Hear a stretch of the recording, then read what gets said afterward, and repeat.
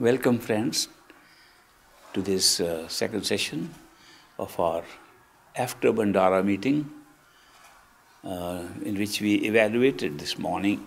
And I was very happy that so many of you found this event beneficial and helped you in your progress on the spiritual path. All right, we'll have a test now, whether you passed or not. Test is very simple. I'll first tell you a few more jokes. and then we will meditate. And we'll see if we remember the jokes or the master. Whoever can remember only jokes fails. Who can remember master passes. And who can remember both the jokes and the master gets high marks. Who can remember the master telling jokes will get super marks. So I have to refer to my notes again.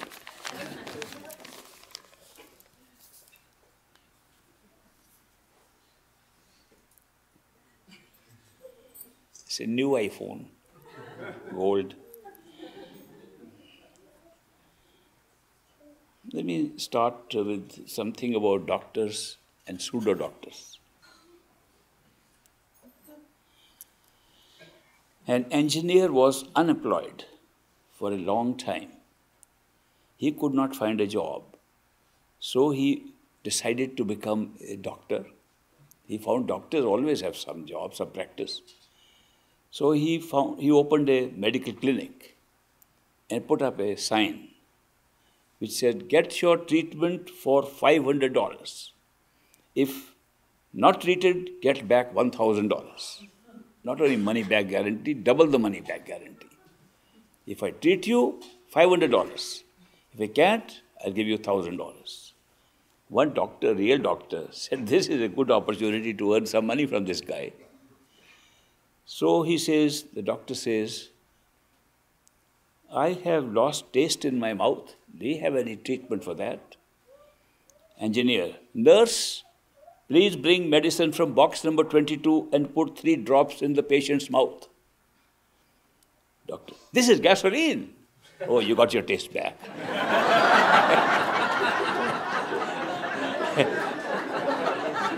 Give me $500.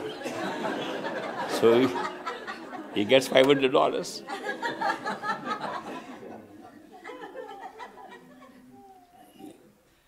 Then Doctor gets very annoyed, goes away, and he says, and this is terrible, I should recover my money at least. So goes back. Doctor says, I think I have lost my memory, I cannot remember anything. Do you have any treatment for that? Engineer, nurse, please bring medicine from box 22, put three drops in the patient's mouth. Doctor, but this is gasoline again. You got your memory back.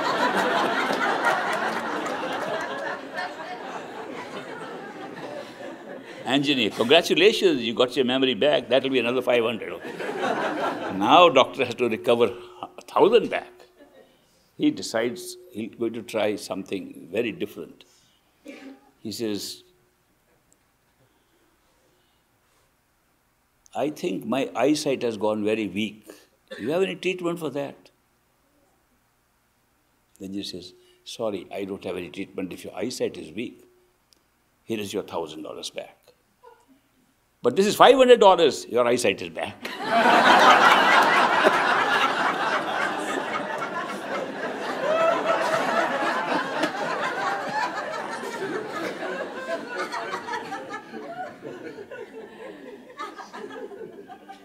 okay, I, th- I thought that was interesting.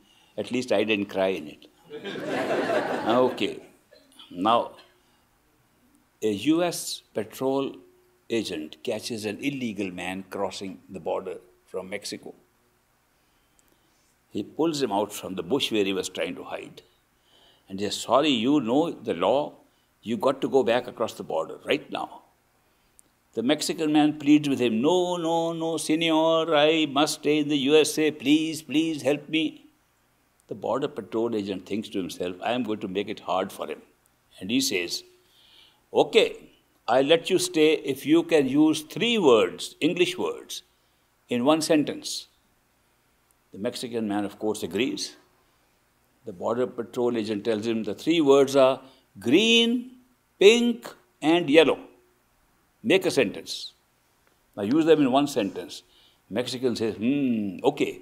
The phone, it went green, green, green. I pink it up and says yellow.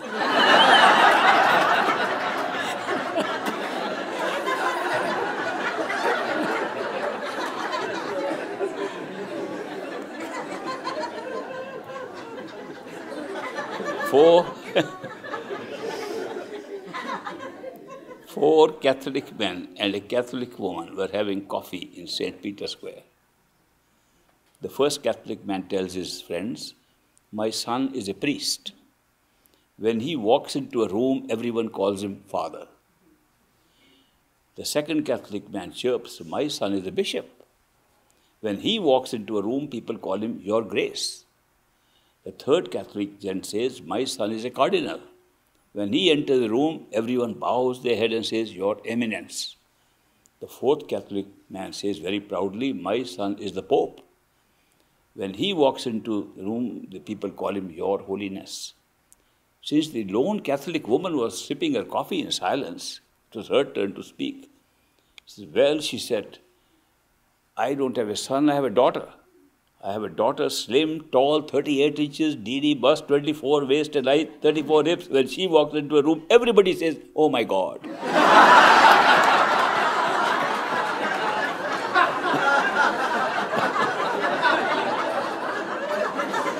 okay. Enough for the tale. Enough material for the test. Now, the master is remembered by our soul, and the jokes are remembered by our mind. The person who remembers God, the Lord, masters, master power, spiritual power, his true home, Sachkhand, those who remember that are known as Gurmukhs. Gurmukh means a follower of a guru, a follower of the truth. And those who follow the mind are called manmukhs. Manmukhs are those who follow their man or the mind.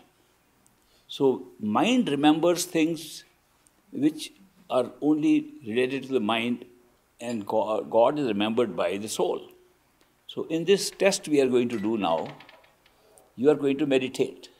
And as I said earlier, we'll see if you only remember the jokes, then you fail. If you remember the, the master and forget the jokes, you pass. If you remember the master telling you these jokes, you get super marks. So let's see. Let's close our eyes. Go back to the third eye center behind the eyes.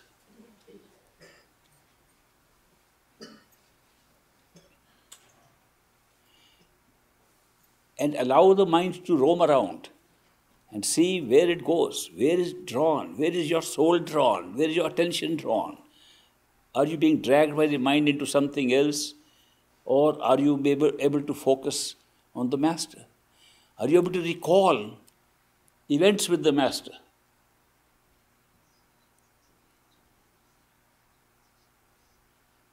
Stay in the center, behind the eyes and relax in the chair and then recall.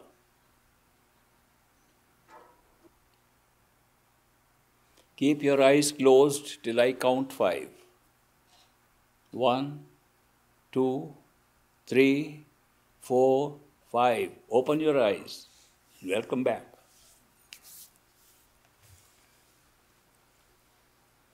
Now we have to look at the test results. How many of you remembered the jokes only? Only one out of so many? How many remembered the master only? Very good. How many remembered the master telling the jokes? Wow, you all passed. Congratulations. The, this is just a way to remind us there are so many things that the mind gets absorbed in. But we have the power to pull our attention away from what the mind is thinking and draw it inside to ourselves. The only external thing that we have, which is identical to our real self and available at all levels, including physical level, is a perfect living master. It's an identical copy of the self because the awareness of that person is the same as totality of awareness inside us. So if we have to find an identical copy or a copy of the creator, it's sitting outside. And when you go inside, it's also an identical copy. When you go higher up, it's still an identical copy. When you go to the top, it's the same. It's only one. There's no difference. So that is why we have in our, uh, in our own consciousness the power to put attention on anything we like. If we are dragged away by a mind to do what the mind wants to do, how can we be so helpless that we have so much power in our soul, in our spirit, that we can overrule everything? We are the creative power, and how can we be dragged away by a mind? Therefore, we must build into ourselves that strength of our own soul, called the spiritual strength, the spiritual will that should be able to override the mind at any time. It does not mean don't use the mind. Use the mind, but you direct the mind where you want to use it. You want to think of a particular thing, direct the mind to think only of that, nothing else. Meditation is not necessarily to close your eyes and sit and do it. It's a daily occurrence every time. 24 7 you can be meditating by using your spiritual awareness to override your mind. This test is an example how our mind can be diverted and our attention can be diverted wherever we like. Of course, in the beginning, when you want to use your spiritual will, you have to talk. You have to talk to yourself. The mind says, let me do it. You have to talk and say, no. That's also a word. Both I want to do it, and the word no are both coming from the mind. You are using the mind for both purposes. You are allowing the mind to think on its own and do things, and you are also using the mind to say no to it. But when you say no, it is some other power that is overriding the mind. You are using the mind and its will against itself, and that only happens because the soul wants to assert itself I am here. I am the consciousness. I am the owner of everything. And I own the mind. And why is the mind trying to boss over me?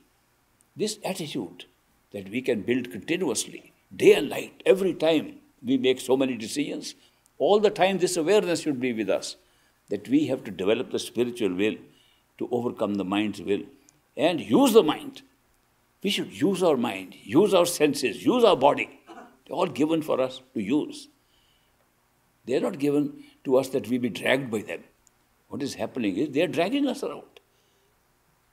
The story of a great master used to tell the story of a king who loved his daughter and wanted her to get married to another prince and live in a nice place in a royal style like she was accustomed to living.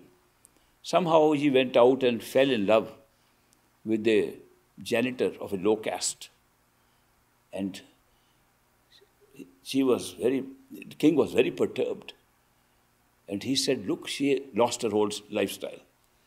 She's living with that poor fellow. Poor fellow cleaning streets, cleaning houses. That poor fellow, what will he take care of my daughter? Very perturbed. But the daughter was in love with this cheapy, cheapy guy.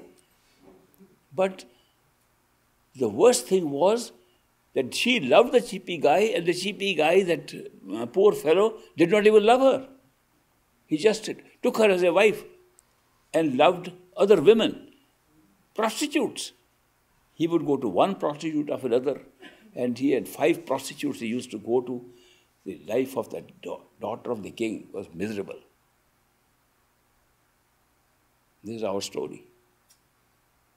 We are children of the Creator living in spiritual style and spiritual palaces. We have lived that great life. We are supposed to live that great life at all times. And what did we do? we fell in love with this cheapy thing called mind. And we are following the mind. Mind doesn't love us. Mind loves things. Love, mind loves the five senses, the five prostitutes. The mind is being dragged. One prostitute drags the mind, it goes away. One sense drags us, we go there. The eyes drag us somewhere, we go there. The lustful thoughts come, we go there. The possessive things come, we go there. The angry th- thoughts come, we go angry. That's what we are living our life with.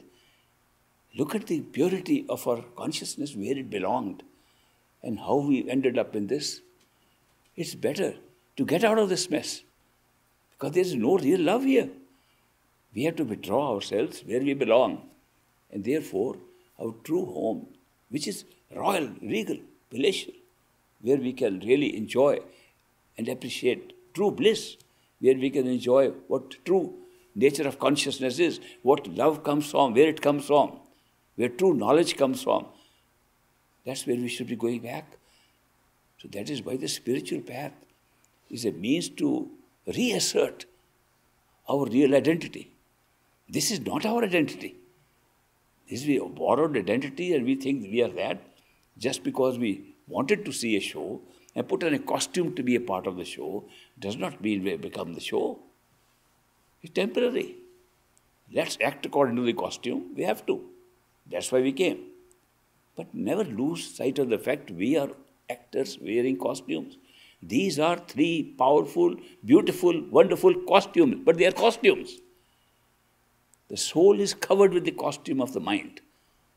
And the soul, which is pure consciousness, has gone into thinking because the mind thinks. I am thinking, the self is thinking.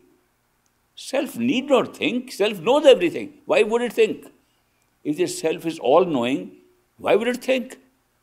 Thinking is just to expand awareness into experience and to make it a different kind of experience. We take in the costume to be our own reality. And then top of that, the sense perceptions are the only means to go to know who we are. Sense perceptions are the only identity we have, another costume. And the physical body, that's the only reality. Sense perceptions are built into it. The mind is work function of the brain, and there's no independent thing. There's all physical stuff. The whole world is physical. It's only reality. We caught up in this. Okay, there's a claim some people are making. But there's a better way to check it out. Go within and find out if it is true or not. Find out these are costumes that they are covering ourselves with or not. So once you actually start the journey, I am not saying, please go to Sachkhand tomorrow. I am saying go on the correct route, go to the railroad station from where you can catch a train. Go to the airport where a plane can be taken. Go to the third eye center behind the eyes, collect your attention there. You will be taken from there by your master. Uh, but you must check it out. You can't keep it merely as a good idea that we understood very well, it is very good. Intellectually, we grasp the whole thing, and then we don't do anything. This is a very experiential path. It is not a path of belief, certainly not of blind belief. It's a path where you are indicated this is possible. Have a look.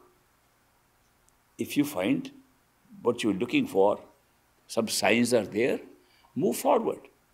If you find more signs, more evidence of what you're looking for, move forward. It's scientific exploration of the self, of consciousness. And therefore, don't treat it as we went to nice uh, uh, bhandara and we had a good time, food was good. I remember six, in the 60s, I came to this country to study in a university here and attended a few bhandaras of the satsangis. They were satsangis of different masters from India. Most of them were from India. And they would say, We had a wonderful bhandara. I said, Really? How was it? Food was excellent. The whole emphasis on bhandara was how good the food was. So, what, what about meditation? Oh, yeah, they said we should meditate regularly. Is that the priority we give to a Bhandara? Bhandara is the Bandar of the grace which we can adopt, which many of you experienced. In the personal interviews you, to me, you have told me how many experiences you had during one day. You can have the more experiences if you carry with you this whole simple truth. We all have access to our inner self and it starts from behind the eyes at the third eye center. Put your attention there, even five minutes, with great intensity, with the kind of joy which you got from the jokes, I say, with the kind of enthusiasm and with the kind of passion that you have for something you really like to find out. If you place yourself behind the eyes five minutes in the morning when you get up, your whole day will be different. If you spend five minutes at night putting your attention there, your night will be different. Your day and night can change with five minutes. Out of 24 hours, people say you should give one tenth of your time to meditation, one tenth of your income to charity, one tenth of this, share everything. And I am saying 10 minutes. Why am I reducing it from two and a half hours minimum requirement to 10 minutes? Because we are living in Kali Yuga, Iron Age. In Iron Age, we can't do what was done in previous yugas. The more we are distracted by modern civilization, more we are distracted by modern technology, more we are drawn outward, the more difficult it is becoming for us to go inside. So I am only saying it is better to do five minutes. Of course, if you can two and a half hours, great. If you can do eight hours, better. But we can't do that. So I, I am trying to be realistic. I am trying to be as realistic as possible in the circumstances in which we live. We have so much, our, our lives have become so busy. We are so busy with so many things. We have taken on responsibilities which never existed before. We have taken on so much, and we, it's a, technology has brought us to high speed living, and therefore, more and more of our time has been tied up. So that is why I'm saying at least five minutes in the morning five minutes at night, and you'll get results. But do it every day. Do not lose the momentum of it. Don't do it once a week. Don't say I'm catching up now for all the time that I missed out. It takes a very long time to catch up, but slowly building up every day. And watch out. If every day you have one small little new experience, you are making progress. Very little experience, you're making progress. The experience need not be an internal vision. Some people think the only test of spirituality is what you can see inside. Not at all. Inside and outside are the same. How can you only confine yourself to one side? If you are seeing a miracle inside and you're seeing a miracle outside, they are identical. There is no difference. If, if something miraculous is happening in your life outside, how can you consider it less important than seeing a couple of stars inside? Don't, don't make, make that mistake of thinking the only way to judge if you are making spiritual progress is to see what you saw inside in meditation. I told you the story of great master's master, Baba Jaimal Singh. I'll repeat it. Just in case you've forgotten, I'll repeat it. Baba Jaimal Singh was a disciple of Swamiji's Seth Shivdayal Singh Ji of Agra, who set up the Radha Swami movement. And he once, he was living in Punjab, and his master was living in Uttar Pradesh, another state in Agra. Long distance to travel in those days. But he was missing his master so much that he wrote a letter to Baba Jaimal Singh. And he said, Beloved master, I am missing you so much. I want to come and see you. I can't help it. I don't know what's happening. I am missing so much. Please give me a time and date when I can come and see you. And he mailed that letter. There was no other way of communication, no iPhones no SMS, no, no iMessage, none of those stuff. Letters took long time in those days. I think they carried by horseback or something, even the letters. After a month, a reply comes to him. My beloved son, Jaimal Singh, I am very happy to receive your letter and to know that your soul is roaming around in the higher regions, is going about in Khand Brahmand. Puzzled by this letter, Jaimal Singh said, This is not meant for me. Maybe by mistake it has been mailed to my address, meant for some other disciple. So he wrote back. He said, Master, my soul goes nowhere. I am just missing you. I can't help missing you so much. I want to see you right now. Please give me some time so I can come and see you. After a month, another letter comes back to him from Swamiji. He says, Dear son Jaimal Singh, I am very happy to receive your second letter. And I am very happy to know that your soul is roaming around in the higher regions in Khand Brahmand. Now puzzled completely by two letters. Swamiji writes, so far as coming to see me is concerned, you can come in the first week of next month. So Baba Jaimal Singh travels to Agra and goes and meets his master, Swamiji, with those two letters in his hand, and he presents them to him. Says, Swamiji, you wrote these two letters to me, master. They don't belong to me. My soul never went anywhere. And you are writing twice that I am roaming around in Khand Brahmand. And Swamiji laughs at him and says, Okay, put the letter aside, let's go inside for a little while. There were some 10 15 people sitting there outside. So they both retire into a room inside. After about half an hour, they both come out. And then, in the presence of others, Swami Swamiji says, Jaimal Singh, now tell me, when I wrote those letters to you, was your soul going round in Khand Brahmand in higher region or not? He said, Yes, Master, it was. Swamiji says, I am not asking you whether your soul went into Khand today when we went inside the room.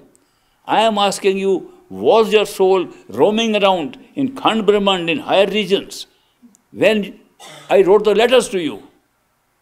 Yes, Master, it was roaming around at that time. Then Swamiji addressed those people sitting around. He said, It is not always necessary to have a spectacle insight to know what progress you have made. The fact that this son of mine, Baba Jaimal Singh, felt so missing so much, expressing love so strongly, where was that coming from? You cannot have that feeling unless some progress spiritually is being made. Because what is drawing the soul inside to a higher level is the love and devotion you are expressing and the feeling. The feeling that he could express his love by saying he missed so much, he wanted to see his master immediately, showed the soul was making progress inside. Then Swamiji also explained this is like putting a bandage on your eyes so that you are not drawn to that spectacle forever. And you are able to do those things which are required to do with your karmic responsibilities here. He explained that we have to do so many things, and although we are seekers of the truth and want to move inside, we have karmically created responsibility, karmically created obligations to do a lot of things, taking care of our jobs, our families, children, uh, parents, things like that. We have so many things to do outside. And if all the time we are seeing inner spectacles, we would not be able to do that and come back again to take care of those people. Therefore, it's better that we keep on paying off our karma at the same time make a cent. In order to pay off your karma, very often you have to put attention on those things which a spectacle inside can remove. But this does not mean that you are making no progress. Progress can be measured by many means. This is just one example I've given you that when you feel you miss your master so much, you love him so much, you want to be close to him, you're making progress. When you see little, little miracles in your life, you're making progress. And I'll tell you some other standards. If you are less angry than you used to be, you're making progress. If you're less lustful than you used to be, you're making progress. If you think this world is not yours, not yours, not attached so much, you are making progress. When you feel that Who are you? Only Master is the doer of all things, and you think of it all the time. You are making progress. These are all signs. There are so many other ways to check if you're making spiritual progress or not. Spiritual progress is being made continuously while these things are happening. And how peaceful and calm you are. How do you deal with people? Are you provoked as easily as you used to be? All these are signs. There's so many ways to judge. Spiritual progress is change in spiritual life. It changes in so many things in your life. That's how you can judge. But sometimes we ask this question, and people have asked, if we have found a master, we have to go to home. Why does it, why does it take so long? It should be just now, instant. We should go instantly back to Sachkhand. Why are we wasting time here? What does the master's point of view say that to that question? He says, What I am doing for you is like an instant. You've been here millions and millions of years, you've been lifetime after lifetime, and the fact that I am going to take you in a few years, in a, few, a short lifetime, is like an instant. You know, the time is different. In, in true home, the time is very different. For example, you can have a whole lifetime here which be an instant there. So one lifetime means nothing. Master's point of view is from a different, different level. This reminds me of somebody telling me a story about Brahma and a disciple of Lord Brahma, the creator. The disciple prayed, Lord, is it true that in your domain a thousand years is just a moment?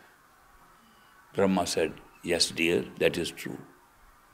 Is it also true that in your domain a million dollars is one cent? He said, That is true. Lord, will you give me one cent from your domain? and Brahma said, Wait a moment.